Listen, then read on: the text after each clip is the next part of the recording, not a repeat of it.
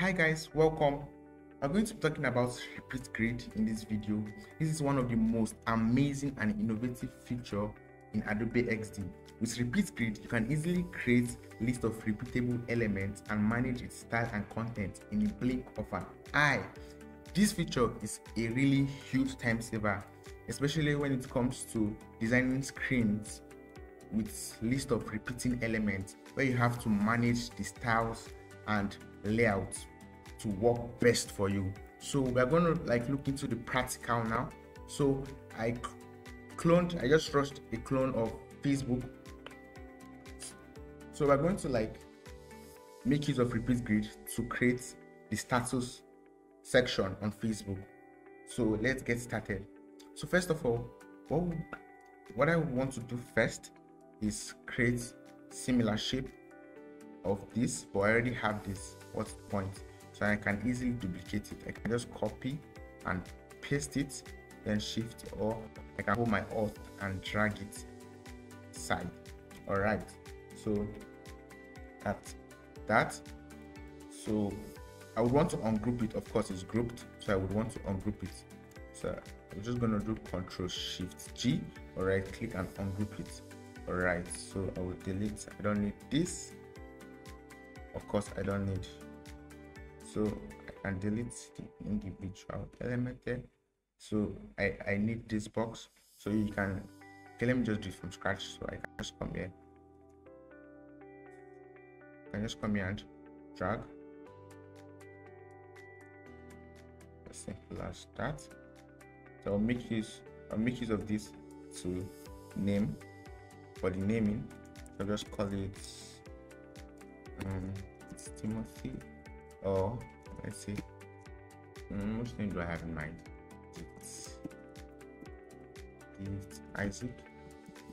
All right. So we have this now. Okay. So repeat grid is really really really powerful. So we'll experiment that now. First of all you want to make this text here white let's just make it pure white. Then drop down shadow. And reduce the intensity of the blur to around one percent. Then reduce the y-axis to around one percent. It should like work perfectly all right so let's bring up something. So we have series of pictures here that we're going to make use we have series of pictures here that we're going to make use of. All right so let's implement the repeat grid. So first thing first let me just like set this here. Or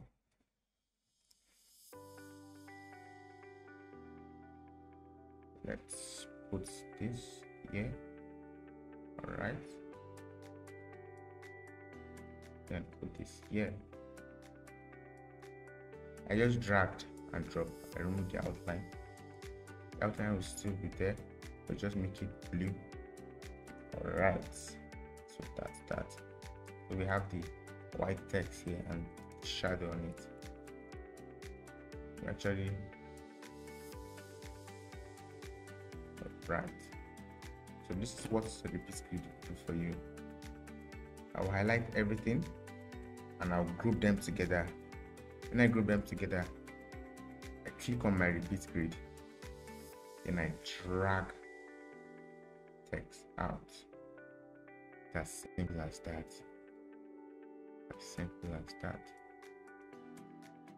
Right. And just you can check the, the measurement.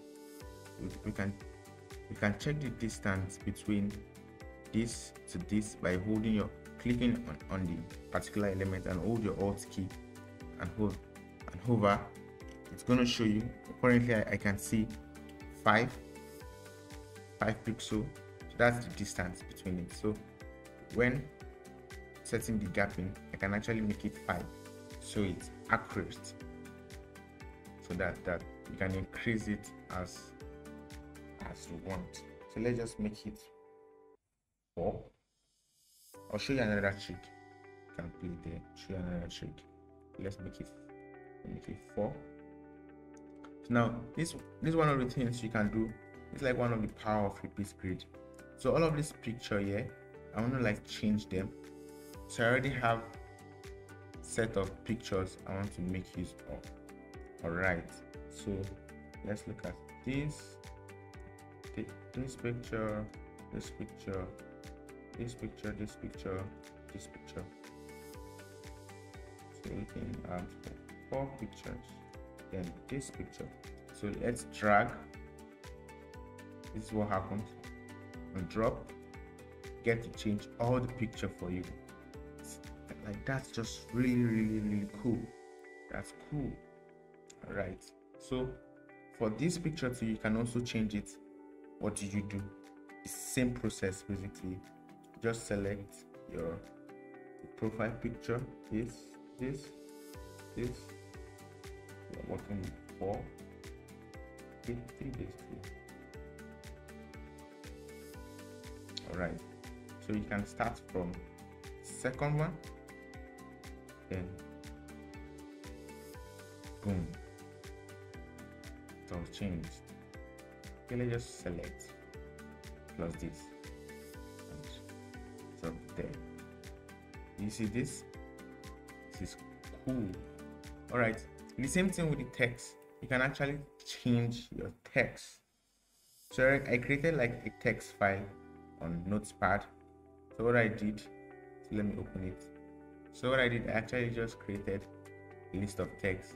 Then you in, indent it and put adams